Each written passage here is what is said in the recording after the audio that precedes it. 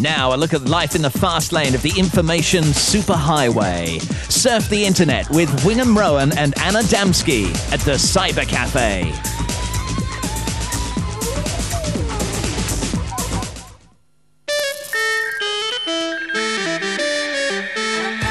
Tonight, coming out on the internet, he couldn't tell his family or friends, but Michael finally told the world that he was gay. A new generation of games on the net. The Big Breakfast's Jason Bradbury raves about his favourite shoot 'em ups. Plus, the government is in league with aliens and hiding the details from us. That's what David and his group on the net insist. Welcome to the late night TV programme that loves the internet. This is Cyber Cafe. I'm Wingham Rowan. Here's our expert with the killer keyboard. Anna, are you ready for this week's quest around the net? Indeed, I am. Right, where's the challenge? Ooh, laptops. Right, Right, what does it say? This was set by the team here. Find the most bizarre live camera feeds on the net. It's dead. Okay, we ought to explain. Yeah, uh, uh, live camera feeds. A lot of people take a camera, put the output of it on the net, and it's what they pointed at that's funny, isn't it? Yeah. All right, you know where to start? Well, there's apparently just some toilet cams, so All I'm right, going to well, start with those. Okay, good luck. We'll catch up with you later on. Now, some net speak for beginners. MOTOS means members of the opposite sex. MOTSS means members of the same sex. If you're looking for a partner on the net, it's important to know the difference. Michael, you're 30, you work in computing. Tell me about the time you realised that you were gay before you discovered the net. How was life for you then? Well, it was pretty awful. I, I felt as if I was the only gay person that I knew. Uh, nobody else knew that I was gay. And, and really, my only contact with a, a wider gay world was the occasional surreptitious copy of Gay Times I got off the top shelf of the newsagent and took out, wrapped in another magazine. Um, so, really, I didn't have much contact, nothing to ground myself in and think it's okay to be gay. I was very confused. and you discovered a internet uh, channel called MOTSS, Members of the Same Sex. That's Where right. did you go from there? Well, that really started building up my confidence because I discovered a list where there were people like me, people with the same kind of background, same kind of education, um, same kind of problems that they'd obviously gone through and now now seem pretty happy and, and pretty open about being gay. And did you just go straight into the discussion group and leave messages all over the place, or did you Not take your time away. before actually saying who you were and saying something about yourself? I, it took a little time, a, a, a while of reading and, and finding out who was there and, and working out for myself that it seemed like a friendly place and, and that if I did post a message, then it wouldn't have dreadful consequences. Um, so, yeah, a little, little while of building up my confidence first just by reading. And what sort of messages did you start putting in the discussion groups when you did pluck up your courage? Well, the first one was, was pretty low key, I think, really just saying I'm here and um, been reading a bit and uh, announcing my presence. Um, but even doing that for me, it was, was, was, quite a big step. Um, and, and it felt afterwards, when, when the message came back and I saw that it was really there, quite, quite liberating to have actually made a, a public statement. So you got much more confident through talking to people in the members of the same sex group. Yeah. What did you do then? How did you translate that into the real world?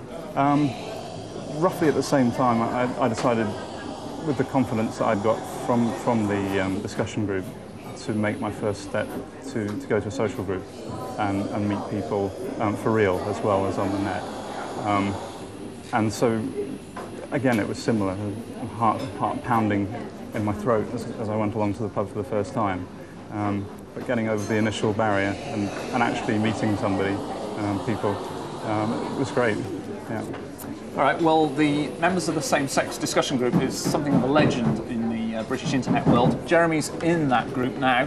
Jess, what sort of things are happening right now? Well, it's, uh, it's pretty interesting, as a matter of fact. I mean, there's all sorts of stuff. Uh, people looking for friends, roommates, um, just discussing general issues surrounding homosexuality. I found something, this message referring to gaydar. Uh, what is what is gaydar? It's, it's really a sort of sixth sense for, for feeling that somebody else might be gay just, just from um, You just know. signs. Yeah, It's not, not any one thing, just, just, just the dress and, and manner and things that kind of add up and make you think perhaps this person is gay. It's pretty interesting, and they've got, um, you know, there's, there's stuff about. There's, there's a few flames. There's one here. The flame is it's- someone it's- sending it's a critical critical message. It's it say? entitled, it's entitled Kill Pufters. And what does he have and it to just say says, underneath "Me- that?" meet in front of the old State House for a damn good kicking. Uh, so, yeah, it's well, very, very witty, I think, very witty indeed. I wonder if anyone will go along to that. I shouldn't think so. And if, he, if that does, he's the one who get the kicking I expect as well. Well, uh, members of the same sex, uh, the discussion group, is only part of what the uh, internet offers gays in Britain. There's also something called Digital Diversity, which is a much more glossy set of internet pages. And MOTSS and Digital Diversity were both set up by Nigel Whitfield. So you're kind of Mr. Gay Internet UK, really.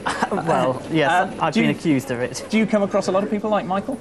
Yes, I, I do. I'm, UK MOTS has been running now for uh, MOTS means MOTSS. Yeah. It's been running for six years, and in that time there have been a tremendous number of people who've come along.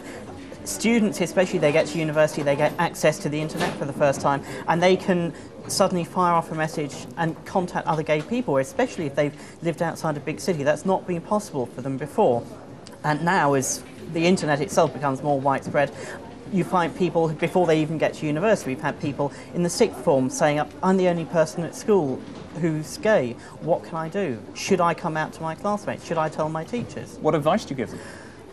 It depends tremendously on the circumstances. And in this case, someone was coming up to his mock A levels and he was going on to university in about eight months. And we said, well, if you feel you absolutely have to, come out. But if you're not sure of the reaction, you've got eight months and maybe it's better to get through your exams, get to university, and you can be completely yourself at university without risking getting a bad reaction from people at such an important time. So, what advice you give people is always going to depend on their circumstances, but generally, be out.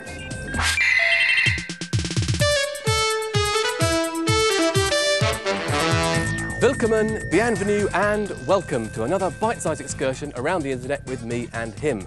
Dan will shortly be bringing you news of a top bell-ringing page, whereas I have been expanding my vocabulary. Words are great, aren't they? I use them all the time, and if, like me, you enjoy impressing ladies with your long words, you really should visit. Words are us. So, what's it all about? Well, in their own words, Welcome to Words Are Us, the fun way to supercharge your vocabulary. Now, okay, it all sounds a bit twee, but bear with me, the basic idea is a good one. Every day, a new word is presented based on a weekly theme with its definition, pronunciation, and usage. If your computer supports sound, you can even listen to this pronunciation, albeit with an American accent. The site holds an archive of previously featured words and has a free mailing list for those who wish to subscribe.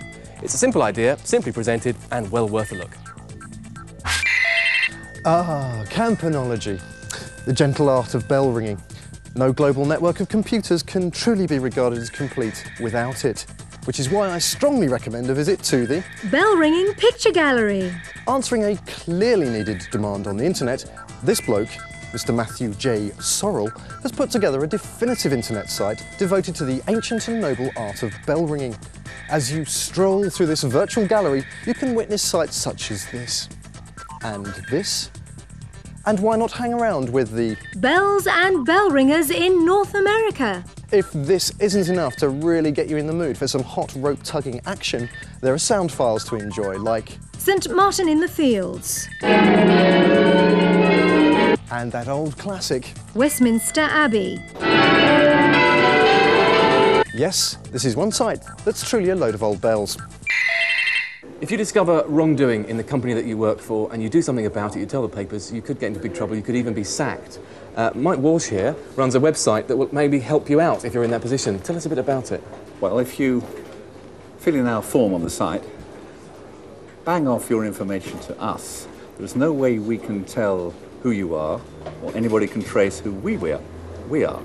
So what we've been doing for the last nine, ten months is advertising our service, which is run by maybe uh, six people, um, including two or three journalists like me, uh, with lawyer friends, who then advise anybody who gets in contact with us what to do about their information. We've made it foolproof in the sense that nobody can find out who the providers of the information are. And um, if they want to be identified to us, they can be. And if they want us to take action, we can, and we have taken action. We've got various stories into the press. We've got we've helped people on, on an individual basis. So that, that's the plus. So if somebody um, watching, watching now has got a story, perhaps, or they know that their company is doing something wrong, what do you suggest they do? Well, I suggest they get to us. Of course I do, because we'd like to hear about it, and as journalists, we'd like to, to develop it. But uh, I suggest that they get advice from lawyers or friends. But if they're worried, get to us. Uh, there aren't many organisations like us. There is, there's none like us. There are some others who do help whistleblowers, but I don't think that they have the sort of built-in protections that we have, and we keep on improving them. Sure. But uh, whether it works in the end, I don't know. And you always protect the confidentiality of Oh, absolutely. One of the great principles of journalism, you'd rather go to jail than uh, reveal your source. Anna's in search of unlikely things that have cameras pointed at them with the output on the net. What have you got there? Halfway point? Yeah, well, I haven't found the toilet cam yet, but I did find a picture of Berlin at the uh, Bahnhof Zoo, which is one of the stations there. Oh, but the camera's not in the toilet. No, it isn't. And, Uh, you're in search of others? I'm in search of others. There's also uh, Golden Gate Bridge I'm going to have a look for as well. All right, more netcam fun after the break.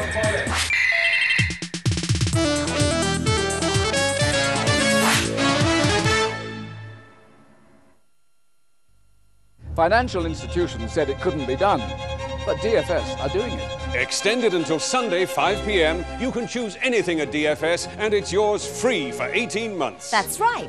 You take four years interest free credit and pay nothing for the first 18 months. For example, this settee is just 5.99 with no deposit, four years free credit, and nothing to pay for 18 months. It ends Sunday, 5 pm at Crittall's Corner, Sidcup. At Shannon Corner, New Malden. And at Valley Park, Croydon. You know why I always have Tic Tac with me? Simple. Because one tiny Tic Tac refreshes my breath for two hours, and Tic Tac has only two calories. So I can have two hours of Tic Tac freshness in just two calories. Great, huh? Tic Tac. Two hours of freshness in just two calories. When you get acid indigestion or heartburn, Rennie works fast. Fast, effective Rennie for on the spot relief.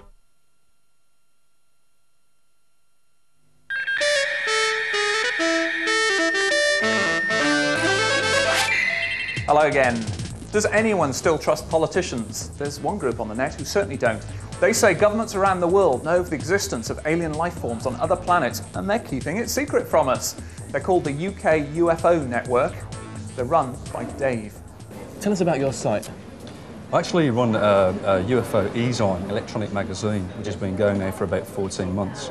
We've currently got about 820 subscribers who subscribe to the free magazine. We collect uh, various information from uh, newspapers, magazines, TV articles, and of course what people send in to us by email. And we type it up into a, a readable format, and we send it out to the subscribers uh, every week. Uh, our main research is done through the internet, um, from the reports we receive from people who obviously take a great interest in the UFO phenomena because of the amount of actual email we get sent us. What encouraged you to actually get onto the internet and do this? I mean, why? I've been interested in the phenomena, I mean, since I was a teenager. Um, and then other things took over, girlfriends and, and uh, work and everything, you know. So it, it went by the by. Then about um, November 94, when I first came onto the internet, I was amazed at just how much information to do with the UFO phenomena was, was out there. Did you actively go looking for it? Did you just stumble across it? Stumbled across it, stumbled across it, and was stuck there, stuck there. So, what sort of material do you get? Is... We, um, well, if I was to say that uh, the information out there is, is, information overload, I mean, there is just so much information, you, you just can't possibly read it all. You really have to, to flick through it and try and pick out the, the relevant bits that you feel are important. Well, let's flick through it and uh, pick out some relevant bits, eh? I've got here some of the printouts of your, your e-zine that you send around, that you've been sending me for quite a few weeks, and almost spot it right here. Now, um, the first one I've got here is that there's a man who claims to be an expert in UFO, says that a music video of a popular singer um, perhaps has a, UFO in the background of one of the shots. I mean, what's, what's the story behind that? Well, I've not actually seen the, uh, the musical shot itself, but there is no doubt there are numerous film reports out there where UFOs or unidentified flying objects hasn't got necessarily got to be controlled by uh, you know, an intelligence have actually been caught in the background of news reports. Right. And um, unbeknownst to the people making it. Exactly. So we could actually have one kind of out there right now. Possibly, sure. yes. I'd be very surprised, but you okay. never know. Okay, moving on a bit. Now, this is quite an interesting one. Um, uh, a police officer driving his, uh, driving his motor vehicle saw a bright white light, which he thought was a motorcycle headlamp travelling across a bridge. And of course, when he gets there, there's no bridge. What, what, what, what causes these things? Well, the thought of that is that that could possibly ball, be ball lightning. Um, The M50, where the sighting took place, is very close to Tewkesbury. Uh, we also received a report to say that a, a local factory in Tewkesbury, someone had witnessed a white light hit the wall of a factory. We put two and two together and thought it was possibly the same incident. However, it transpires that two days before the officer saw this white ball of light, some uh, witnesses in Tewkesbury working inside a small printing firm actually saw, during the day I believe this was, saw a white ball of light come through their window, raise up to the ceiling and start to follow the girders of the building around. Blimey. But we suspect that that's probably ball lightning, Right. another unknown phenomenon. Right, sure. But so, out of all the, the, the sightings that happen, how many are easily explained? The vast, vast majority, I mean, you're talking 80 to 90%, I would imagine. The other 10%, what Who can say? Who can say? But what, but what do you believe? These unexplained 10%, are we getting visitations? Do you believe that? I believe we are. I believe we are. Um, technology over the last 50 years has, has just gamboled on and on and on, and who knows what's going to happen over the next 50 or so years. We are soon, sooner rather than not, going to be leaving this Earth and going into space and visiting other places. And I'm sure if, uh, if I was out there looking down on us, I want to make sure that I keep a very close eye on what we're actually up to. Have you ever seen a UFO? Unfortunately, no, I haven't. Oh, that must be very disappointing for you. It is indeed, yes. Yeah. Have you ever go sky watching, just in case? We are doing. I've organised our first Skywatch for this August. We're spending a weekend in Cannock Chase, another hotspot area, uh, where we are going to spend two nights, hopefully looking out, and who knows. Do, do you think this could just be a bit of a fad? Because I mean, there's the X File factor. You know, suddenly everyone's like, "Oh yes, paranormal things, all very groovy." Don't, could this just die off in a few years' time? Will there be something else to replace our interest? I doubt it very much. I mean, yeah, the X Files have certainly brought a, a massive interest in, in not just the UFO subject, but a lot of other uh, paranormal subjects as well. Now, I, my personal feeling is, and I don't know when it's going to happen, but within the next 10 to 20 years, I think my personal feeling is that something's going to happen. Either the government are going to come clean and tell us what they know, or who knows? I suppose a police officer, unfortunately, you'll have to protect that secret as well. So a bit of a dichotomy there, I Who feel. can say? Who can say? You never know. We might get a UFO land on the uh, on the lawn of the White House.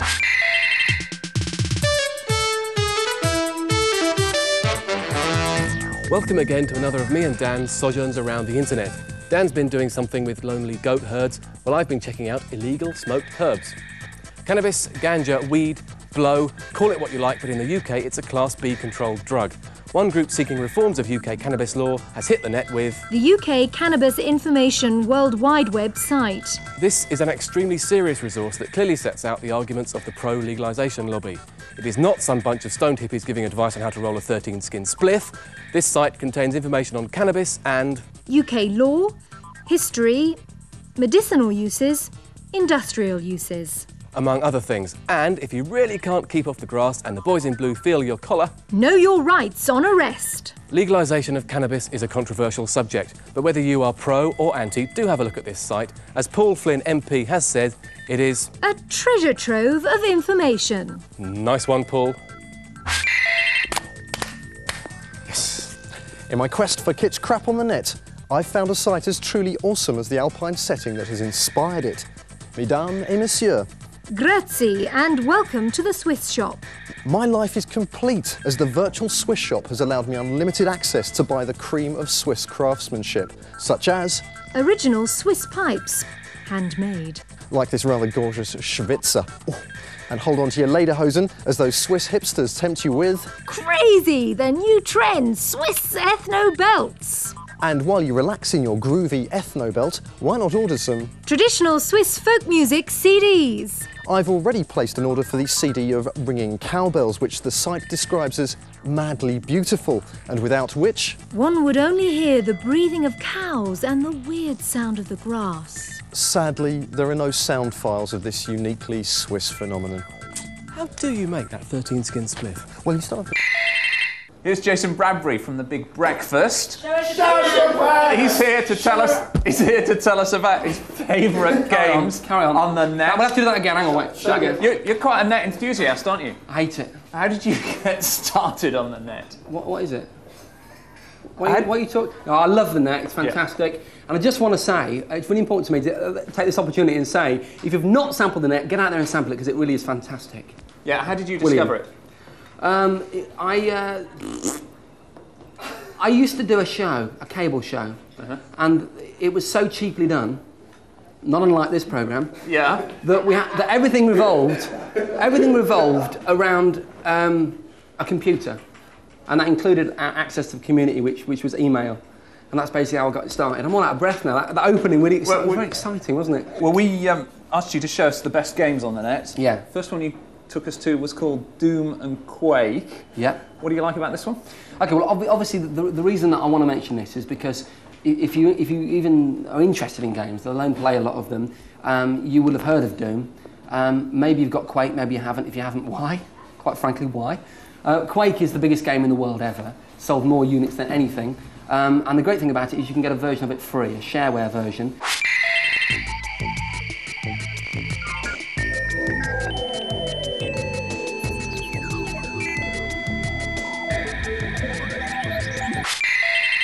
Quake is an amazing game because not only is it fab to play, you can you can network it over the internet and play against a number uh, a number of other players, like maybe eight players, all playing Quake over the internet, which is an amazing idea. Looking Glass Technologies. What's so Okay. great about this one? Okay, Looking Glass Technologies are um, my personal favourite game publishers. They're a group of um, spods, basically. Uh, one's, What are sp- they're, they're like uh, potatoes, but it's like it. No, they're, they're, people that are really into um, computers and spend all their time doing it and really can't communicate. A little bit like me, in a strange way. Um, but most of them have got more hair than me. Um, and they, they created a fabulous line of software, the best game of all being um, Flight Unlimited.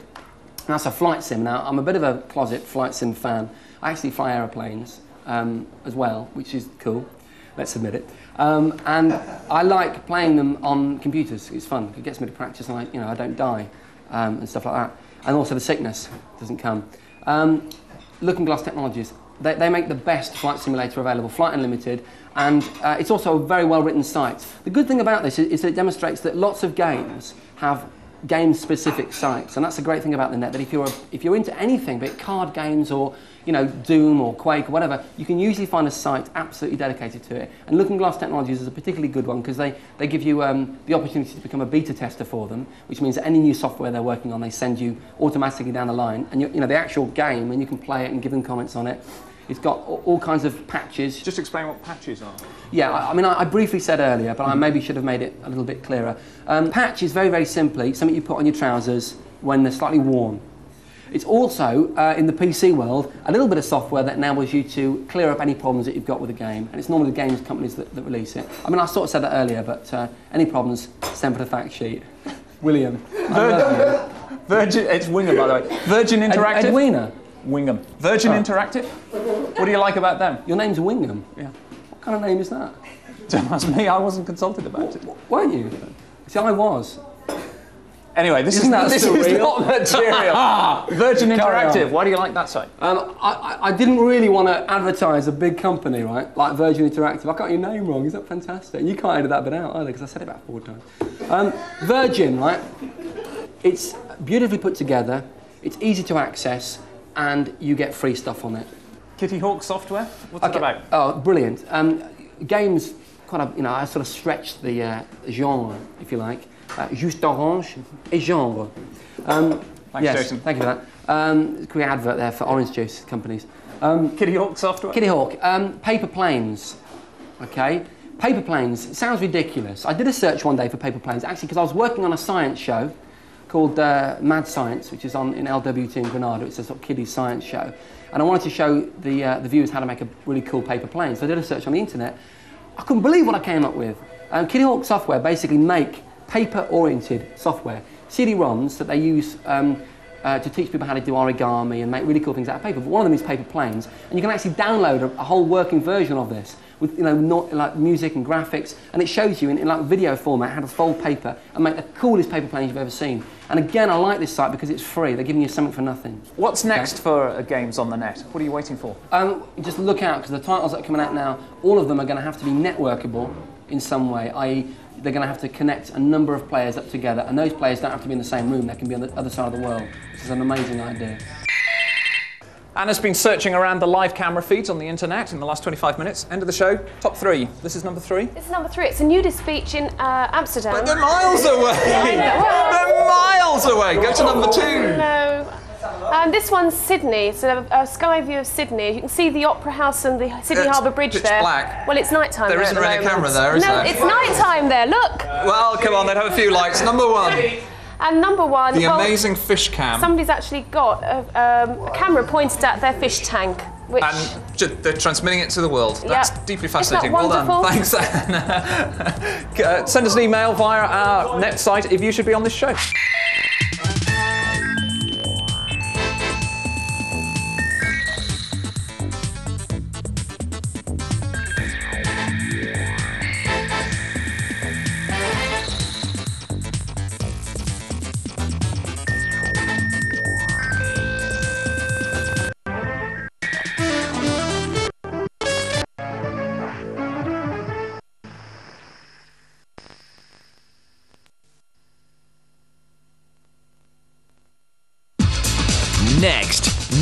Music in Helter Skelter.